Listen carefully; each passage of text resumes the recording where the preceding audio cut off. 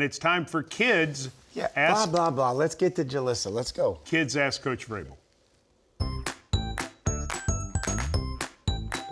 Hi, Coach Vrabel. My name is Jaleesa. I'm 11.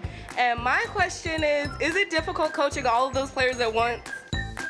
No, no, it's not difficult. Uh, you know, what I mean, I think that it sometimes it is. I think that that's a fantastic question to be able to say, is it difficult to coach all those players at once? And uh, everybody's got a different personality. We've got different positions. We've got um, players from from different parts of the, the, the country. They're from different backgrounds, and I think that's what makes it amazing and also challenging at the same time. Is is that you're trying to build a team, and you've got players that have been with you for a while. You've got some that are new. You've got some that you know, just came here this past week or a couple weeks ago, and, and you're trying to combine all that and figure all that out. So it, it is challenging, it's rewarding, uh, but at times it, it, can, you know, be difficult and and trying to do all that and maintain that type of um, structure and culture that we want to build when we're not having success. And, and I know that um, that's why we're here. We're here to win, uh, but. Uh, it's amazingly rewarding, and, and I know that those are going to come sooner